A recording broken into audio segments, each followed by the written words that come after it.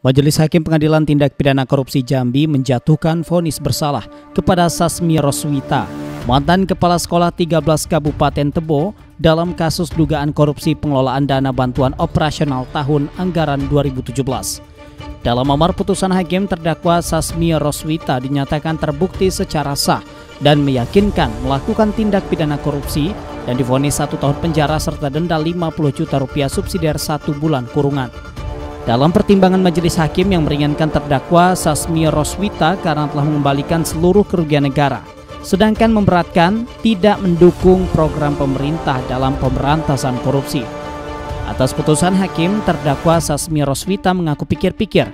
Begitu juga dengan jaksa penuntut umum, karena putusan lebih rendah dari tuntutan yakni satu tahun enam bulan penjara.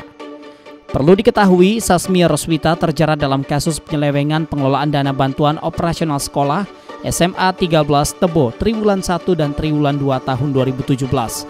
Berdasarkan laporan hasil perhitungan Inspektorat Pemerintah Provinsi Jambi, pencairan triwulan 1 dan 2 tersebut tidak dapat diakui keabsahan dan tidak dapat dipertanggungjawabkan.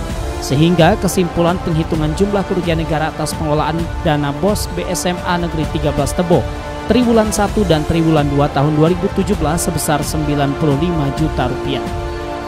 Solehan Jambi TV.